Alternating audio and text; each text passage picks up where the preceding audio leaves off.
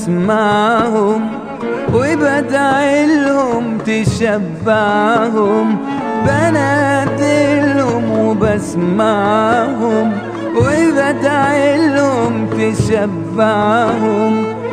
ما تحوجهم لحد يا رب ولا المخلوق يجوعهم